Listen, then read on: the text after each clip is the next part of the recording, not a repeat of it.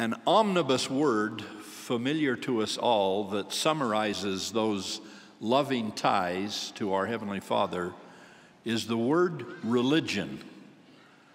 Scholars debate the etymology of that word, just as scholars and laymen alike debate almost everything about the subject of religion.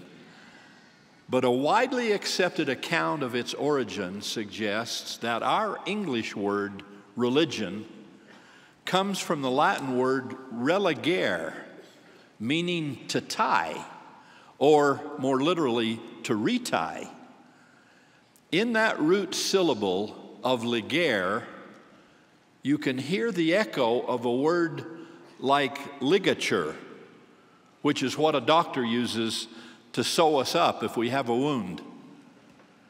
So, for our purpose today, religion is that which unites what was separated or holds together what might have been torn apart. This is an obvious need for us, individually and collectively given the trials and tribulations we all experience here in mortality.